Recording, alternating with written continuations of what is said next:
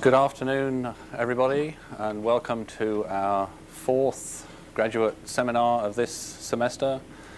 Um, we're very lucky to have with us uh, this afternoon Mr. Bill Reed, who uh, has spent a long and uh, distinguished career at NASA Langley, spanning something around 35 years, I believe. Uh, he was uh, branch head in the aero elasticity branch and then uh, chief scientist in the uh, loads and aero elasticity division, which is now the structural dynamics division. I got all that right. Uh, about 10 years ago, he retired, and since then has been with Dynamic Engineering Incorporated, which has uh, offices and a machine shop in uh, Newport News, in Oyster Point Industrial Park. And he's going to speak today and I think give an entertaining talk on the subject of flutter testing of aircraft. Thank you, Colin. Some of you uh, aeronautical students, and maybe some others as well, will know that uh, Theodore von Karman was probably uh, sometimes referred to as the father of aerodynamics. And in 1940, he uh, became rather prominent again for uh, the discovery of the cause of a failure of the Tacoma Narrows Bridge. This was a beautiful, newly built bridge that up in Seattle that crossed the uh, uh, Potomac Narrow, Narrows uh, crossing.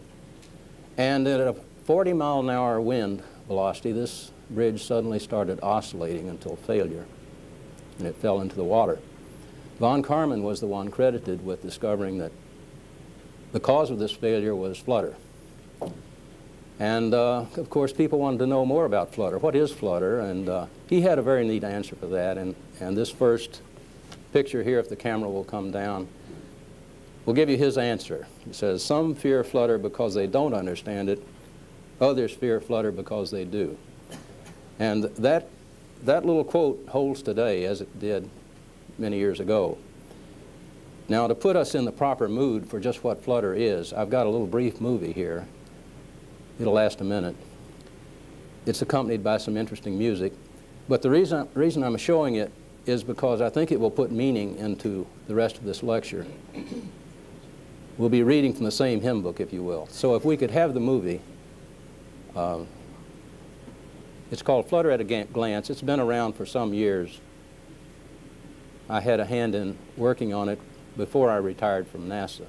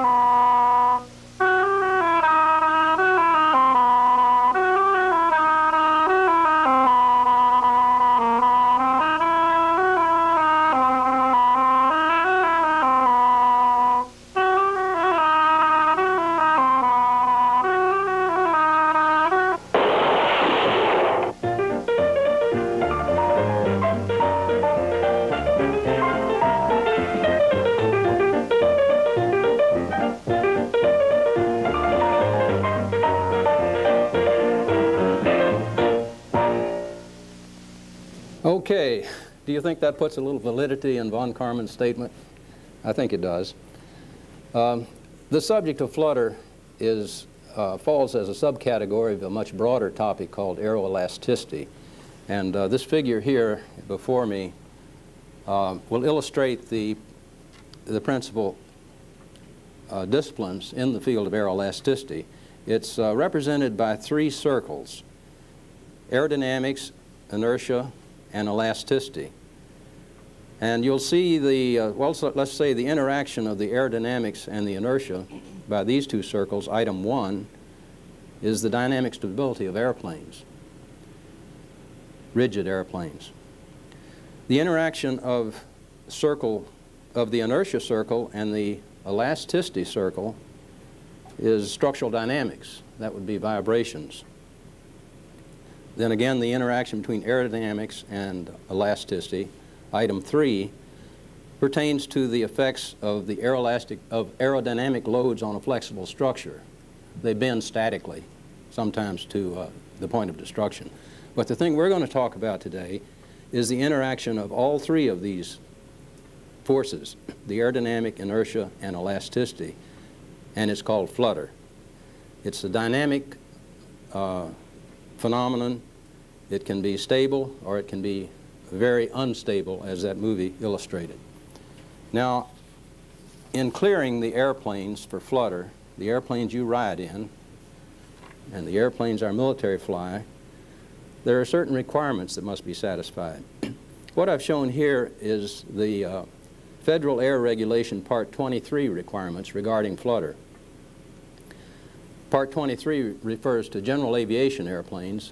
There's a Part 25 referring to transports. And then the military has its own uh, requirements for flutter. But let's just talk about the general aviation, for, for example. Uh, the curve that you see here is the, uh, the load factor of the airplane versus the equivalent airspeed. And uh, FAA requires that airplanes must be demonstrated to fly up to the design speed that is by flight test. They can also, if analysis is used, must, the analysis must show a 20% addition to that speed, 1.2 VD. The 20% addition is to take care of uncertainties in the analysis. Now, not shown on this figure is, is uh, the subject of wind tunnel testing, And uh, many more complicated airplanes, uh, especially the military and the large transports, would have a program involving both wind tunnel analysis, uh, ground test, uh, flutter analysis, and flight test. Uh, let's talk just a bit about the flutter clearance process that pertains to either the develop, well, primarily the development of a new airplane. To limited extent, this process would also apply to modified airplanes. But let's talk for a minute, uh, what would be involved if, if you were asked or a company was asked to, uh, to build a new airplane? The first thing that, they would do is set up an, a, a mission, of course, a speed and altitude and so forth.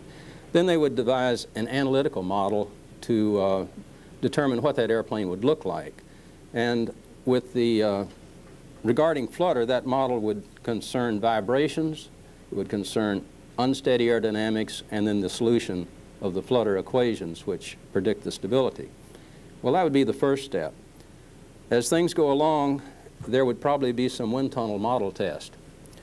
Uh, first of simple, very simple models, perhaps at low speed. Maybe they would be only the components of the critical structure, such as the wing or the tail.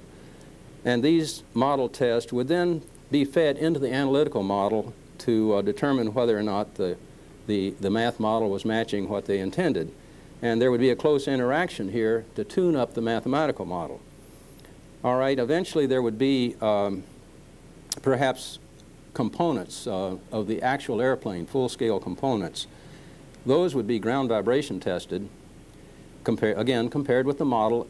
All along, the purpose of this is to develop a valid analytical model because it's much easier to run parametric studies by analysis than it is by test. So the tests are used to validate this model. All right, now we have an airplane that's ready to fly. And uh, we are happy with, supposedly happy with the agreement between the ground vibration test and the math model, the wind tunnel test, and we're ready now to uh, fly it for the first time. A, a, seri a series of uh, flight envelope expansion tests, they would call it, starting at high altitudes, low speeds, increasing gradually as you go, uh, until finally the airplane is cleared. So this is the process that would be involved in developing a new airplane.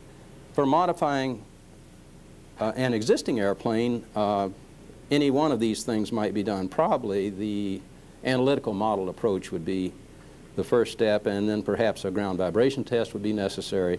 And if those things indicate the possibility of a flutter, it would be followed by a flight test. Now, an interesting uh, set of statistics here that I obtained from Grumman some years ago shows the development cost regarding flutter of the F-14. And it breaks down those, those subjects that I just mentioned, analysis, wind tunnel, GVT, and flight flutter test. Notice the analysis part is 29% of the total. The remaining test part is 71%. Uh, so that kind of gives you a, a, a breakdown of the relative importance of, of these activities. Uh, if you round it off, it's roughly equal for all of them. But to put this in perspective, those costs represent a half a percent of the R&D cost of developing the F-14. Okay, now we're going to get into, uh, the remainder of this lecture is going to be in, in three areas. We're first going to talk about Ground vibration testing, very limited. We'll say a little more about wind tunnel testing, and then uh, flight flutter testing at the end. So first, let's talk about ground vibration testing. This picture is of an airplane at Dryden, NASA Dryden Research Facility, and they're running a vibration test by attaching electromagnetic shakers to the wingtip on each side of the aircraft. These little red spots that you see are accelerometers, and there are a large number of them sprinkled about the airplane, not only on the wing, but the tail and in other places. So they can excite the structure over a broad range of frequencies, either by random excitation or by sinusoidal dwells at a particular frequency or slow sweeps. By whatever method, well, this shows the data acquisition system that's used uh, now they have uh, more sophisticated equipment. It probably isn't as massive as what you see here. But there is a mass amount of data that has to be collected and analyzed to determine the vibration mode shapes and displayed in, in, in a form such as this. And it's these mode shapes, these frequencies, that are used to compare with the math model, and the math model is tuned or changed to uh, get good agreement before going ahead with the program. Now, that is a very brief look at ground vibration testing. I'm going to jump now to wind tunnel testing, wind tunnel model testing, in particular flutter models. Uh, this facility is here at Langley Research Center across the water there. It's known as the Transonic Dynamics Tunnel. And in 1960, it was converted from a 19-foot uh, air tunnel to a tunnel designed specifically for aeroelastic and flutter testing. And the changes that were made in that modification were primarily to change the test medium from air to freon. Uh, freon has some unique properties that are especially valuable in testing uh, aeroelastically scaled models. Let me uh, show you what those are here. Well, the tunnel itself has a large test section, and that's desirable for flutter testing because it's easier to build these complicated aeroelastically scaled models when you can make them large. You can get a lot more detail into the model than a miniature model which may take a watchmaker to make.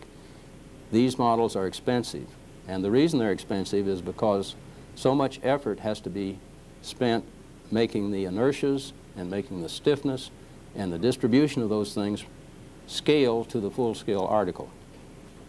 Okay, another feature of the tunnel is the transonic Mach range. At the, in the 60s and late 50s, there were no facilities to be used for transonic flutter testing, and at the same time, it was the transonic range that gave us the biggest uncertainties because of the complicated aerodynamic flow. So this was a very uh, useful and needed facility at the time when the Century Series fighters and airplanes were becoming to, to the transonic speed range. Okay, now why Freon as a test medium? Freon has some properties that are very desirable for scaling these flutter models. First, it's a dense gas. It's four times denser than air. This means that when you scale your model to match inertia and mass, you can make it four times heavier, four times stronger, and that's all good. Uh, it also has the capability of, of test in air. But uh, another feature of Freon, which I should have mentioned, is that its speed of sound is only half the speed of sound in air. So this means that you can test at a lower velocity and still scale Mach number. And uh, that means the loads on the model are less. So, and then as aside from that, the Reynolds number, which, are, which is important from an aerodynamics point, point of view, uh, there are advantages there as well. Uh, since the eyeball is about the best instrument you have, we built this so that you could view the model, your, your uh, nose could be pressed against the glass of the test section, if you will, and you could very closely observe the model. Not all wind tunnels are made this way. It also had some airstream oscillators which enabled us to study uh, vertical gust, uh, sinusoidal gust on the airplane. And then this Q drop, Q is dynamic pressure, that simply means that you could quickly uh, shut down the tunnel in case uh, you saw the model was tearing itself apart. Uh, as you saw in that film, not, we did not always succeed in that endeavor.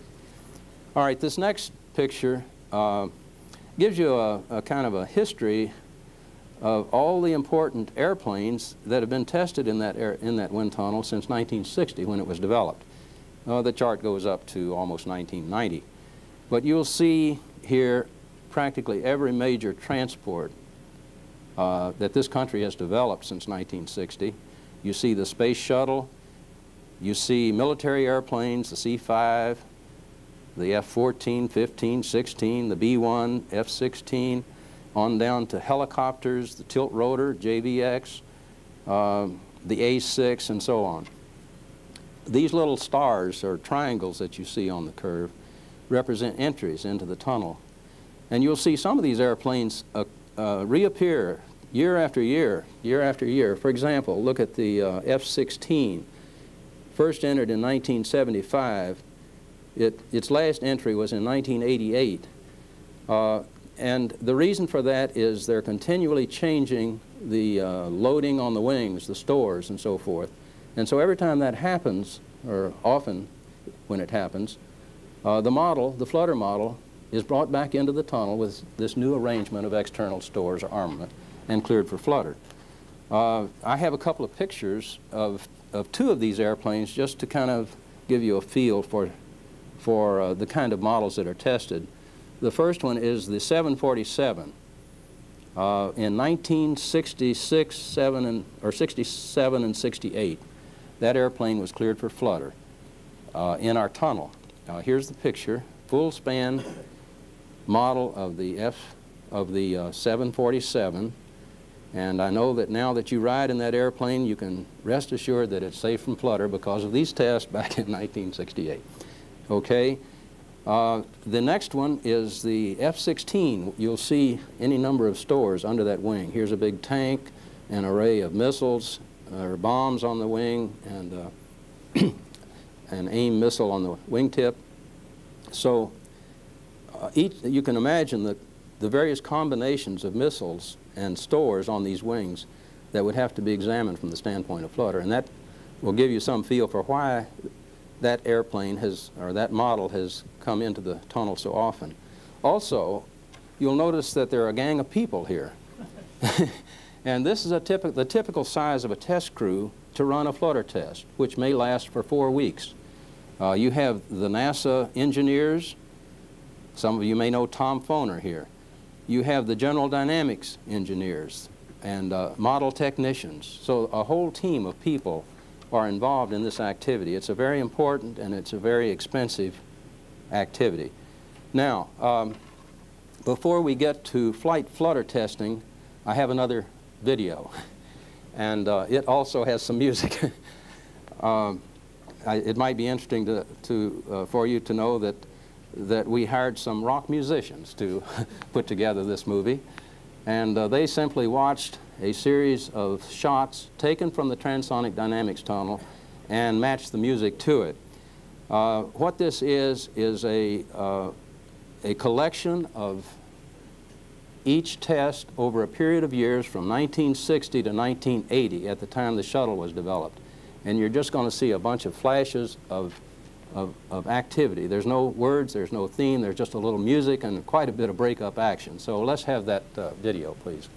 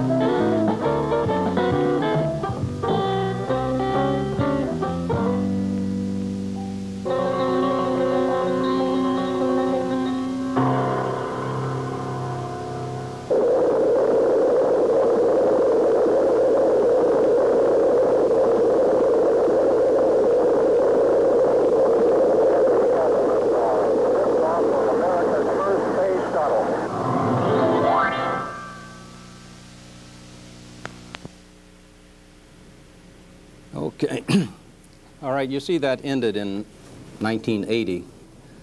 A lot has happened since then, hasn't it? And uh, We'd like our next uh, subject is going to, be, going to be flight flutter testing. That's, that's the third theme of this lecture. So uh, let's go now to these charts. And uh, the first one you see asks the question, when is flight flutter testing required? Well, it's certainly required on new aircraft. It's also required on modifications to, to existing aircraft when you change the structure, you change the uh, flight control system, any number of things, hang additional uh, stores on the structure. And uh, so for these reasons, flight flutter testing is often conducted. The uh, cartoons here illustrate uh, the uh, composition of flight flutter testing. First, it's necessary to excite the structure by some means. Um, and you, you might say, well, why is it necessary to excite the structure? And that is because you would like to know the damping of, of the flutter modes, of the vibration modes, as you approach flutter. Uh, you never want to deliberately go into flutter, and I think those movies would illustrate that point. Uh, you want to approach it, and you want to uh, come close, but you don't want to get there. So what you would like to do is excite those vibration modes and examine from the data what the damping is and how that damping is changing with conditions, with flight conditions. Uh, if you did not excite those modes, uh, it's very possible that you would uh, inadvertently fly through the flutter boundary and find yourself in a situation where the airplane suddenly disappears like you saw in those movies. Um, so since flutter is such a dangerous phenomenon, you want to very carefully approach it, but not get there. This um, curve here is just an illustration of uh, the free decay of the structure, some accelerometer or some point on the structure from which you can get the damping. And you would plot the damping as uh, conditions change. This is the damping of a particular mode. There would be many modes involved, some of which are highly damped and others uh, not so highly damped. Uh, if you continue to uh, progress at higher and higher Mach numbers, you may very well find that this damping curve does this.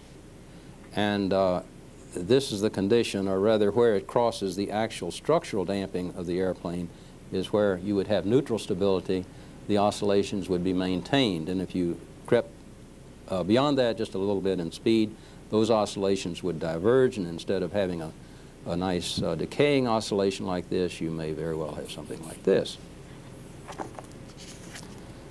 So I'm going to spend uh, the remainder of this lecture talking about excitation, structural excitation methods. Here are some of the methods that have been used in the past.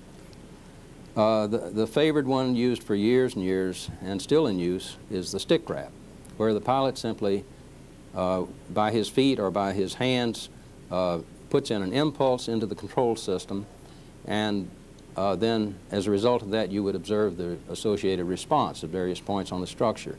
Now the problem with that kind of an input is you can only go so high in frequency.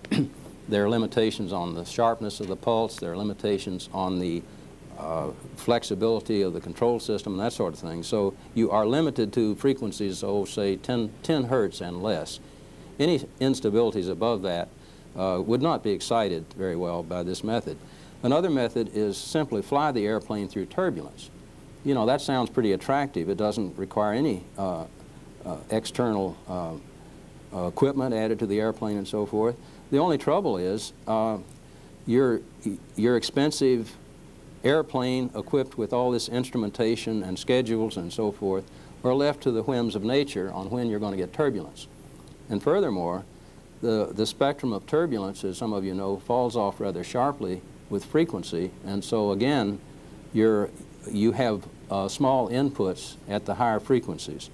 This is, uh, has been used, but it's, uh, it's not a favored way, method because of those reasons. Another method is, of course, the inertia exciter.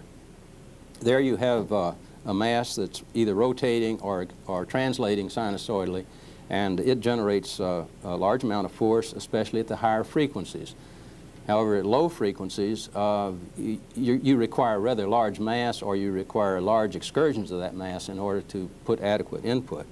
So uh, those, those are some disadvantages, but uh, there are advantages there. Uh, another method is to, uh, and this is especially attractive for the newer airplanes that have uh, high uh, force capability in their control actuators and uh, digital control systems or, or SAS systems where you can program the inputs, frequency sweeps, sine, and so forth, and go right into your control system with the excitation.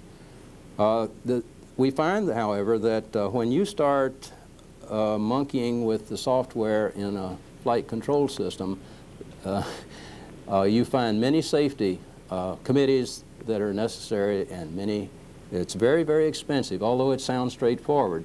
Uh, it costs often uh, more to do it this way than some of the other ways.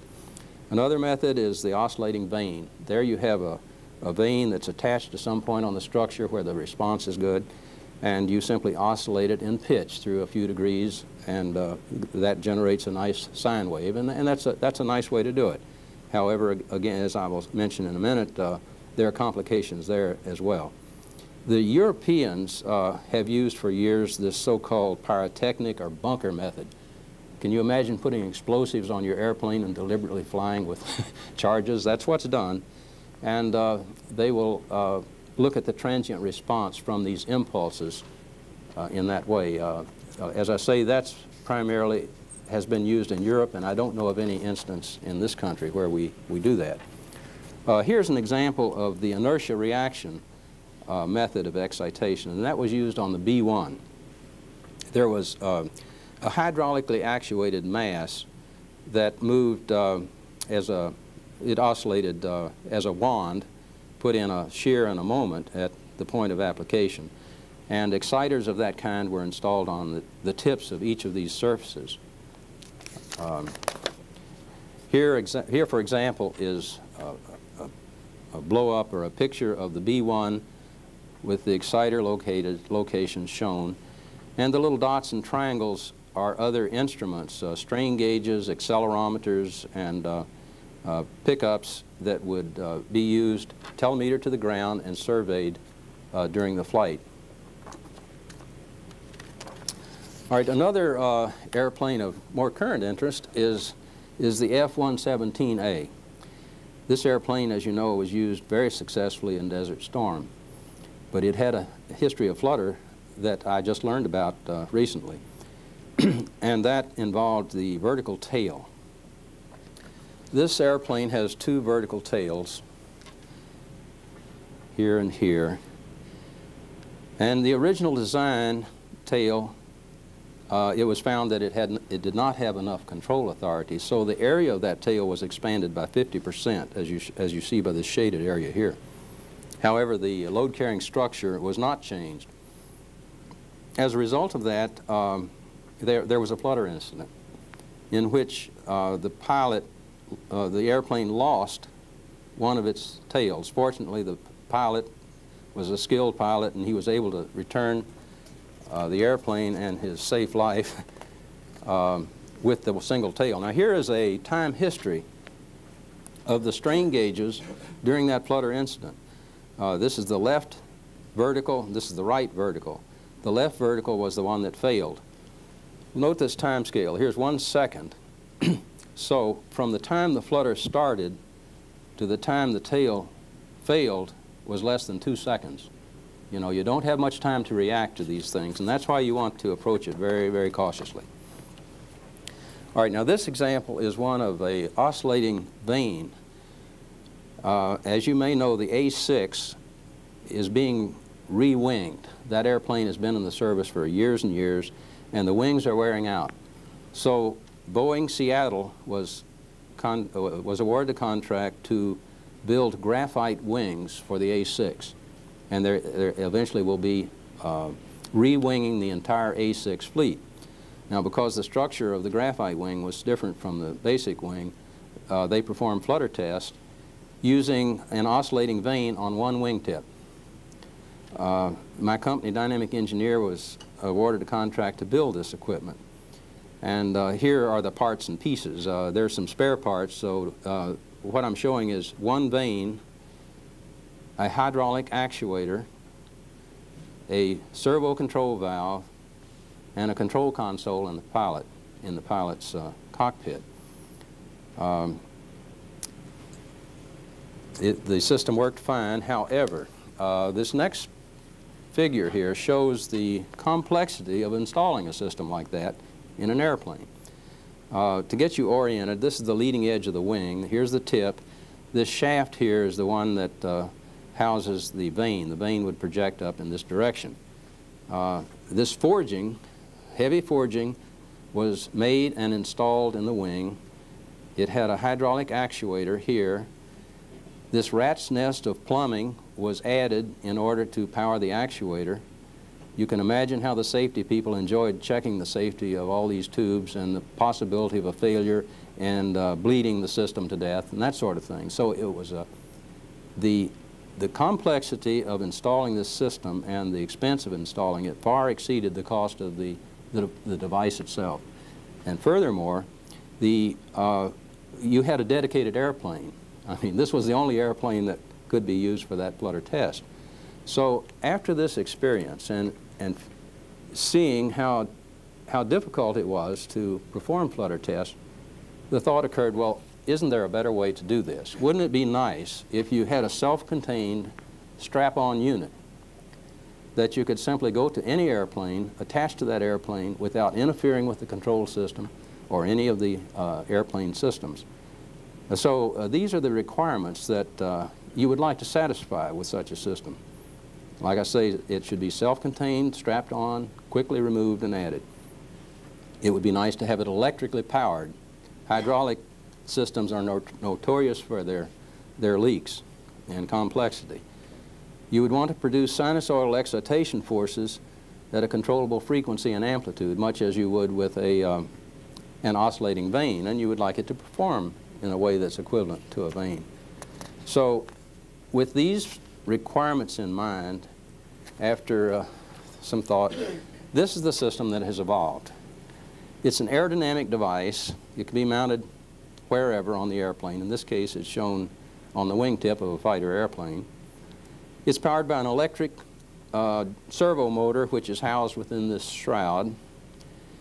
The aerodynamic feature is that it's a slotted cylinder uh, with slots on either side. Notice this cross section here the cylinder rotates instead of oscillates so that the air is directed first up, the next half cycle down. So it's acting like just like a flap, you see. Uh, however, the nice part about uh, a slotted cylinder versus an oscillating flap is that the inertia loads are not there. You're rotating this thing at a, at a constant or a slowly varying frequency instead of oscillating it. Therefore, the power requirements are way, way down, and that, that's the big selling feature.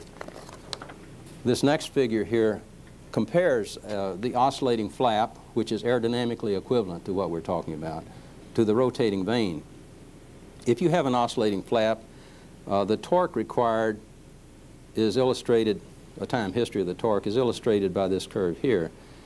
The biggest uh, player in that is, of course, the aerodynamic, uh, the inertia reaction at, uh, at high frequencies.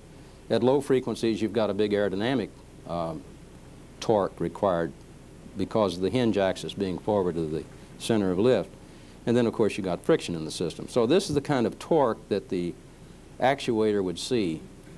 Now, on a rotating slotted cylinder that would produce the same aerodynamic oscillating force, this is the force here, L sine omega t. In this case, it's L sine 2 capital omega t, where capital omega is the rotational frequency of the cylinder. So the air is directed up and down twice per cycle. The torque now is only the friction, only the friction in the bearings and the aerodynamic friction on the cylinder. So instead of these large excursions in torque, uh, you're left with just the friction. And, that, and that's the selling feature of, of the system because you can use a very small electric powered servo motor. Uh, this is simply an exploded view. I don't want to get into it too much. But your motor is here you have a, a, slotted cylinder that's in two sections. There's an inner cylinder with slots that match here and an outer cylinder. And it's arranged so that when you rotate in one direction, this inner cylinder closes this slot, leaving this one open. Op rotating in the other direction, both slots are open. So this gives you a means of controlling the amplitude either high or low by simply reversing the direction of the motor. If you want to further control it, you can of course put a mechanical plug in the outermost slot and, uh, and throttle it back that way. Uh, this is the, uh, a component that is built for uh, one of the aircraft companies. Uh, you have two, cell, two of these devices, a control panel, and this is an avionics box. It's, it's controlled digitally uh, th through a motion control system. So these are the components. This would be installed at any convenient place in the airplane. This, of course, can be installed in the cockpit or in the case of a transport in the passenger compartment. And then the, the shakers would be installed uh, wherever uh, you desire. Now, I again have a little movie. this movie lasts a few minutes and it is a bench checkout of a system that is being delivered to a customer and it explains the functions of um, the, the whole system. So if we could have that video, please. We'd like to demonstrate for you the uh, major components of the uh, single vane flutter exciter system. We have here, there are three major components. The uh, first we'll show here is the uh, exciter vane cylinder combination. We have a, a fixed vane surface here. Uh, on the trailing edge is a rotating slotted cylinder. And uh, the cylinder is driven by a three-phase brushless motor. Rotates with a, either a continuous uh, velocity or a slowly varying velocity. Uh, the system is mechanically designed such that when it rotates in one direction, both of the slots are fully open.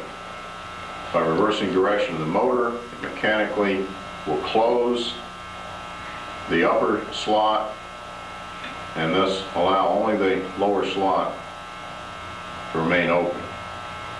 The rotation of the cylinder with the, with the uh, slot acts much like a oscillating flap on the trailing edge of the fixed vane. Thus it produces oscillatory loads in the same manner as a trailing edge flap. The advantage, of course, is that by rotating at a uh, continuous velocity or slowly varying velocity, the inertia forces are quite small and thus it uh, requires a small motor to, uh, to produce the same dynamic force. Now the system is operated by two other boxes. Both are configured in this, in this system as a rack mount uh, configuration. The uh, avionics box is shown here contains the, the basic control system that operates the motor and it contains the power amplifier for driving the motor. Uh, also contained in, inside our strain gauge amplifier to uh, measure the, uh, the, lift force off the, uh, off the vane. The control panel for the system is, uh, called a cockpit control panel and really the center section of this is built into a rack frame that can come out and be installed in a, in a normal cockpit environment if that's desired. And this, uh, this handles all the operational controls for the system. Uh, we'll go through the, uh, the procedure on operating this in just a moment. Now on power up, the system first seeks what we call a home position. We can look at the uh, cylinder over here for a moment, I'll rotate it around and we can look at the home position here is where the slot is centered around the uh, around the vane, thus producing a, a, zero static force. And at power up, the system seeks that home position, and when when it uh, normally stops, it also seeks the uh, the home position. So I'll power the system on, and we'll see it first seek and find the home position. Now, you can see on the uh, control panel shown here, we do have a power indicator. We have a stop indicator, which is now lit, and a start indicator. When, uh, when the run is actually initiated, the stop, start indicator is lit. There are three basic modes of operation of the system that are controlled by the mode switch. Uh, We have the continuous mode, which is sine dwell, running at a continuous frequency. Uh, Linear and log sweep modes, which allow sweeps either up or down in frequency, either linearly or logarithmically. The uh, frequency is controlled by a series of thumbwheel switches shown here. The uh, first three are the start frequency. Uh, You merely dial whatever frequency is desired, up or down. Uh, In this case, we're showing 3.0 hertz. We have a tenth of a hertz resolution both on the start and on the stop, which are the next three digits on the, on the thumb wheel. The last three digits are a duration, which is really the time in seconds uh, that the, uh, the sweep or run will, uh, will take. Additional switches that are shown here uh, are a high-low force switch, um, which really control the direction of rotation of the cylinder. Um, Low force would uh, rotate in a manner to close the upper slot, and high force, of course, allows uh, both slots to be open. Symmetry switch is included on this system, although it's not operational. It's merely there uh, for a, uh, uh, a two-channel system where you want to maintain uh, either zero degree phase shift or 180 degree phase shift in the force, which is produced by two exciters. In this particular system, this switch will have no effect. All right, we'll, uh, we'll demonstrate now. I'll come back uh, to the repetition switch in a moment and explain that in more detail. We'll start off uh, with a continuous run. I've set the switches, we'll, we'll start at 3 hertz, and I'll tune for a 20-second duration. Uh, When the, uh, the operator is ready, he merely pushes the start, and the system is now dwelling, in this case, in a low force mode, continuous 3 hertz rate.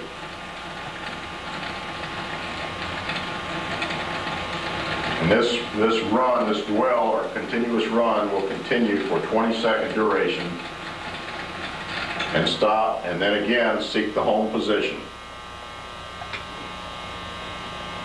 All right, if at any point during this run, the operator, whether it's the pilot or another operator, is uncomfortable with that operation, uh, that is perhaps he's excited something he didn't, uh, didn't want to, uh, or he's just uh, perhaps at a wrong frequency and he wants to stop, you can hit the stop button at any point. The system stops quickly and will return to the, uh, to the home position. This is, uh, this is a normal stop feature. Now, one other feature that, uh, that's available in the continuous mode, uh, let me uh, change the duration here to 30 seconds to give us a little more time to look at it. But uh, if we start, and it's desirable to fine tune a frequency, the, uh, changing the, the thumb wheel switches at this point allows the frequency to be uh, incremented. And it will follow up to the maximum of 50 hertz, which is the capability of this system, in tenth of a hertz increments, either up or down. This feature allows uh, the system, for example, after a sweep might have been run from uh, over a wide frequency range, allows, uh, allows the operator to fine tune and, and find a, a resonant condition if that's desired. Okay, in the linear sweep mode, the uh, unit will sweep linearly from the f-start frequency to the f-stop frequency. We'll demonstrate that now. Uh, Let's start, uh, let's start in this case from 4 hertz, and we'll go to 25 hertz, and uh, we'll do this in 20 seconds again. So again, when we're ready, uh, perhaps this time we'll choose a high force mode. Um, When we're ready, we'll hit start, and the unit now sweeps up in frequency.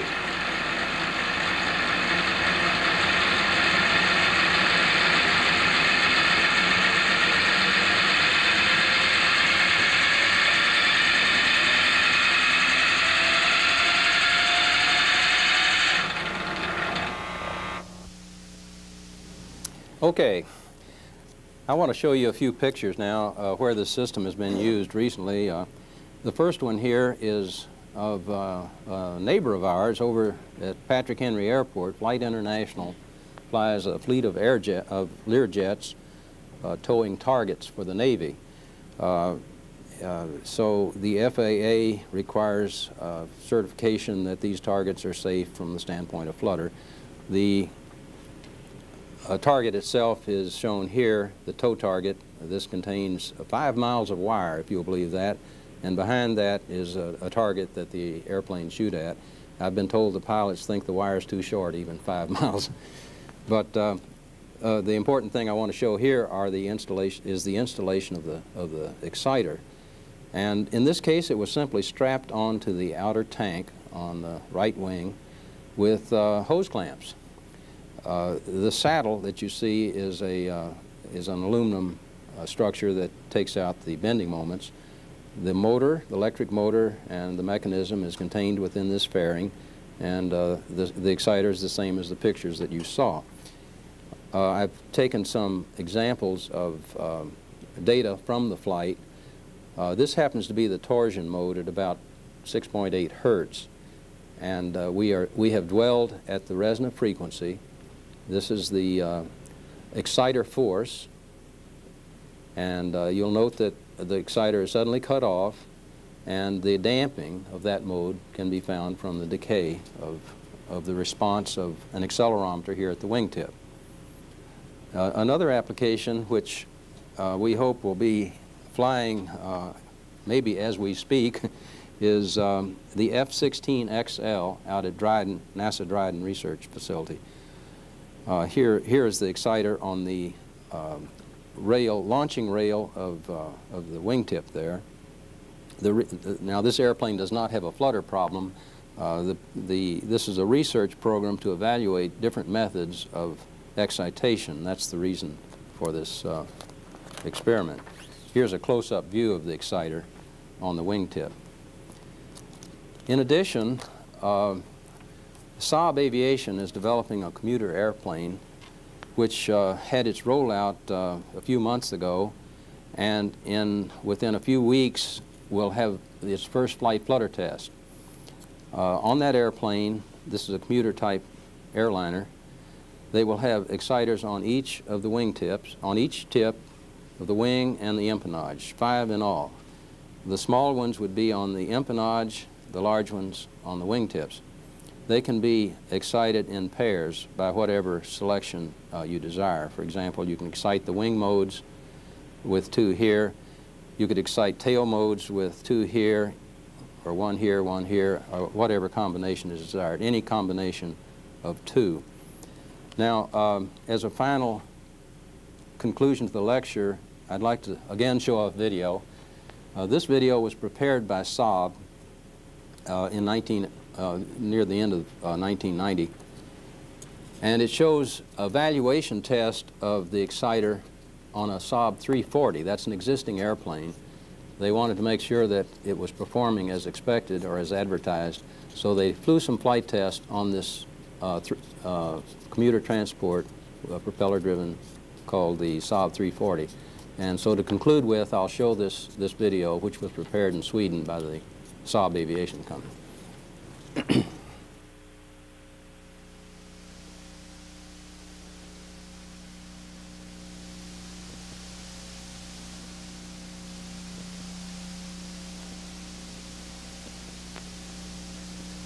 they were kind to give us credit as they did here, you see. This is my company.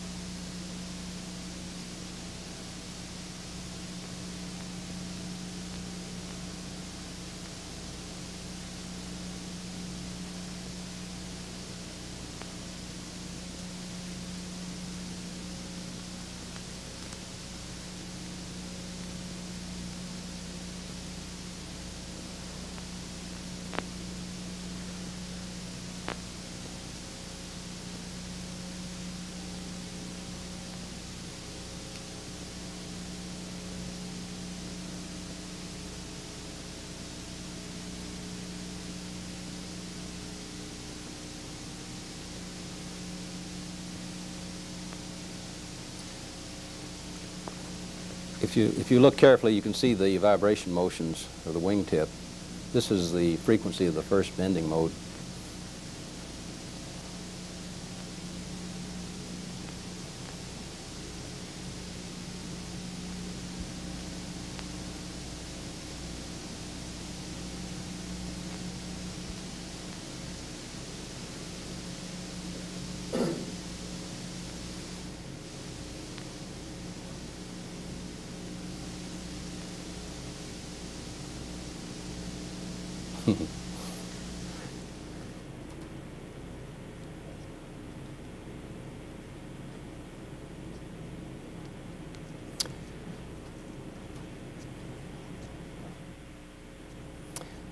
All right, that concludes my presentation, and it's been a pleasure for me to be here and talk to you folks. Uh, I talk about things that I'm having a lot of fun with, and I enjoy sharing it.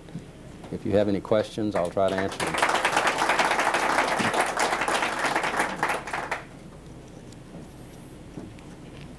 Any questions from anybody? that I got first is about ground vibration test. You use uh, multi-point excitation, how people adjust the excitation force? What kind of criteria? That's one the question. The other one is about wind tunnel test. How many ways to judgment the critical point? I mean, when increasing the dynamic pressure is increasing, then how do know? How do we know what time is to stop? It's, of course, the first thing is uh, visible, but how Okay. There are various methods of, of uh, deciding where to put your exciters, and uh, I'm not sure that there's agreement on, on where the best places are. Of course, the obvious place is to put it where the response is highest. You don't want to put an exciter where the um, node lines of a particular mode would be. So uh, in general, you would survey the, the, by trial and error, find where the, the structure is most responsive for all modes and put your exciters at that point. Um, there have been uh, schemes developed years ago for uh, deciding on the magnitude of force depending on the effective mass at the location where the exciter is placed. I haven't followed that work too well, but uh, a, a lot of effort has gone into that. On the second question, the uh, one way that has been used to save models, and you see that, that they're not always successful from those movies, is to have a detector that would automatically shut the uh, tunnel down very quickly once a some certain number of cycles exceeded a certain amplitude. And uh, it would all be done by computer. Uh, another approach would be to use that same device which would uh, alter the structure suddenly, such as uh, throwing a mass forward in the structure. Or maybe uh, one method was to use a decoupler type pylon in which you would suddenly make the pylon very soft, and so the wing would not see the inertia effects of this pylon.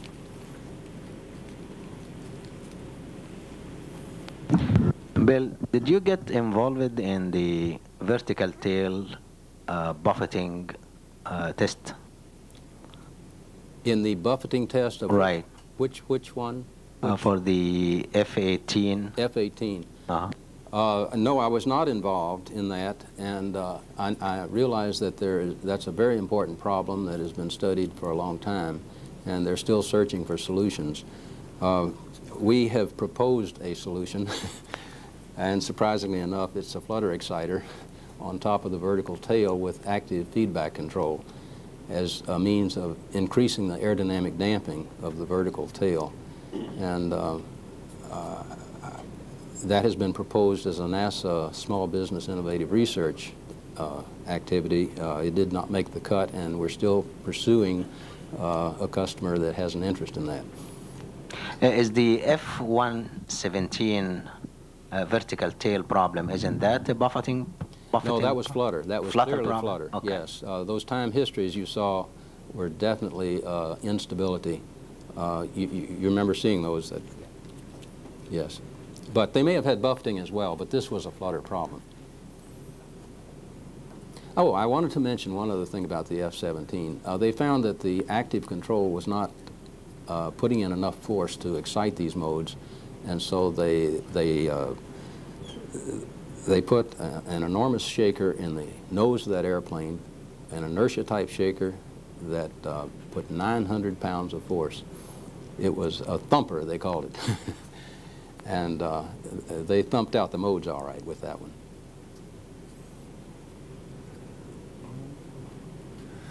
I have a kind of a practical question maybe. If you break up one of your flutter models in a wind tunnel, how long do they spend cleaning the tunnel before it's safe to run again?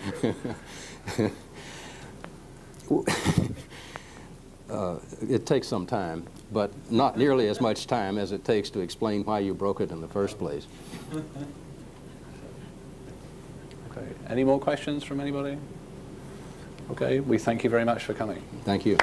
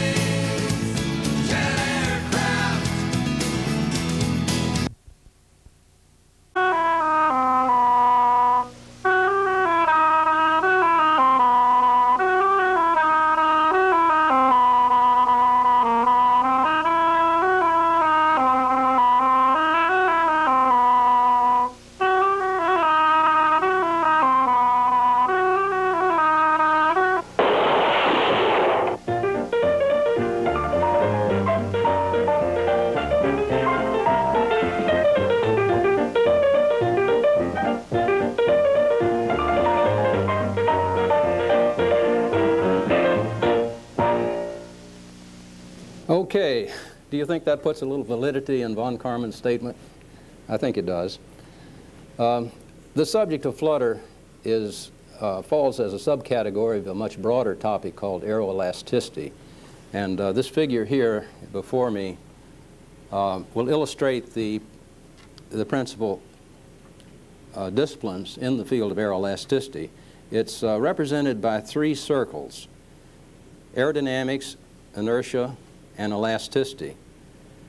And you'll see the, uh, well, so let's say the interaction of the aerodynamics and the inertia by these two circles. Item one is the dynamic stability of airplanes, rigid airplanes. The interaction of circle, of the inertia circle and the elasticity circle is structural dynamics. That would be vibrations. Then again, the interaction between aerodynamics and elasticity, item three, pertains to the effects of the of aerodynamic loads on a flexible structure.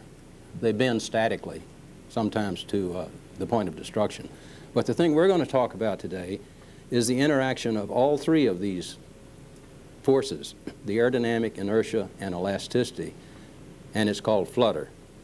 It's a dynamic uh, phenomenon it can be stable or it can be very unstable, as that movie illustrated.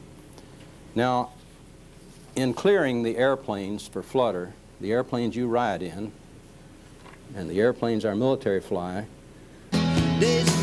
so now they're brave. Life we live in books for fools and slaves. Where we gotta get away.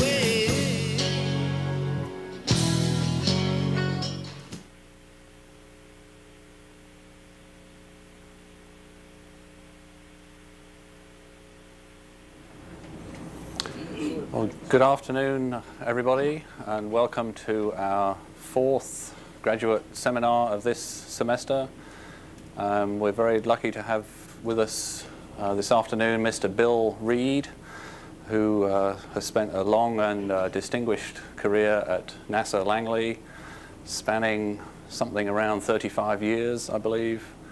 Uh, he was uh, branch head in the aero elasticity branch and then uh, chief scientist in the uh, loads and aero elasticity division, which is now the structural dynamics division. I got all that right. Uh, about 10 years ago, he retired, and since then has been with Dynamic Engineering Incorporated, which has uh, offices and a machine shop in uh, Newport News, in Oyster Point Industrial Park. And he's going to speak today and I think give an entertaining talk on the subject of flutter testing of aircraft. Thank you, Colin. Some of you uh, aeronautical students, and maybe some others as well, will know that uh, Theodore von Karman was probably uh, sometimes referred to as the father of aerodynamics. And in 1940, he uh, became rather prominent again for uh, the discovery of the cause of a failure of the Tacoma Narrows Bridge. This was a beautiful, newly built bridge that, up in Seattle that crossed the uh, uh, Potomac Narrow, Narrows uh, crossing. And at a 40 mile an hour wind velocity, this bridge suddenly started oscillating until failure and it fell into the water.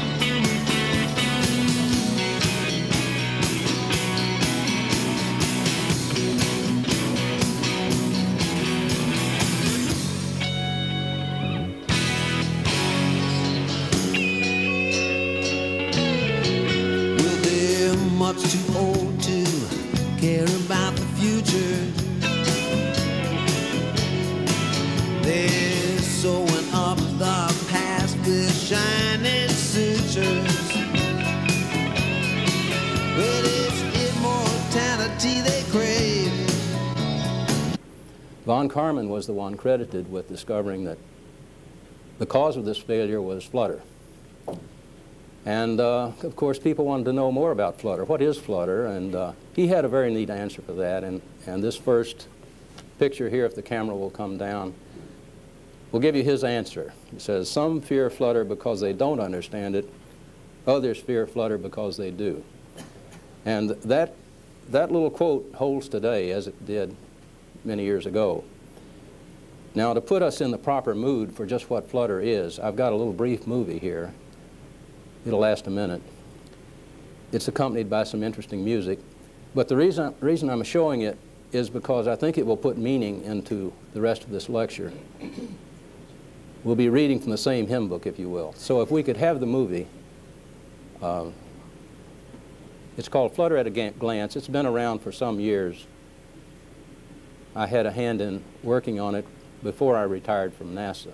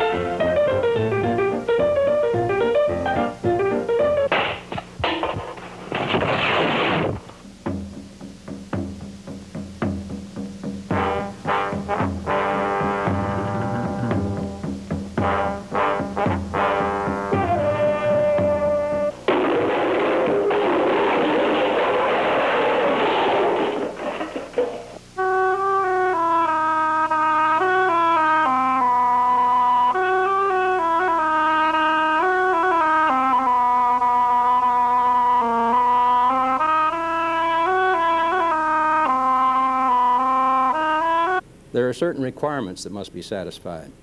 what I've shown here is the uh, Federal Air Regulation Part 23 requirements regarding flutter.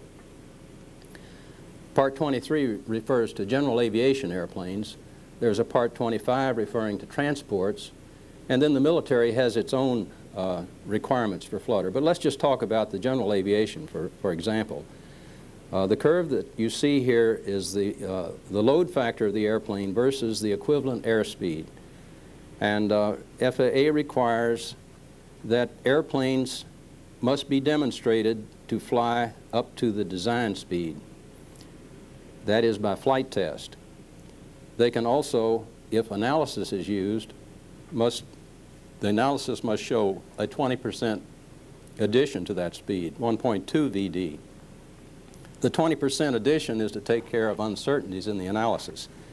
Now, not shown on this figure is, is uh, the subject of wind tunnel testing, and uh, many more complicated airplanes, uh, especially the military and the large transports, would have a program involving both wind tunnel analysis, uh, ground test, uh, flutter analysis, and flight test.